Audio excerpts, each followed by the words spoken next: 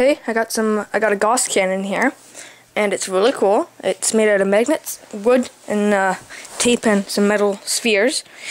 So, yeah, here it is.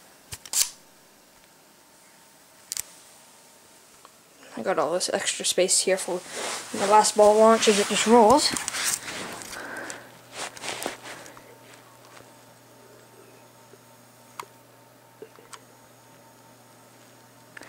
So pretty much this is how it works. This ball, I'm going to start here and push it. It's going to go one unit an hour. Let's just say one unit an hour.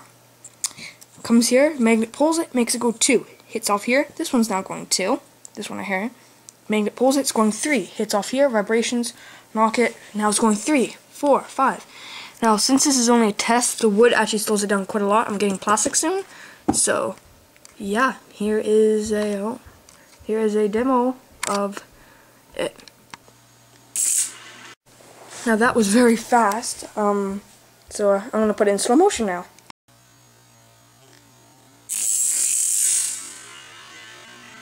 So there it is, a really cool Gauss cannon, made for like, no idea how much money, I would probably say around 20 bucks.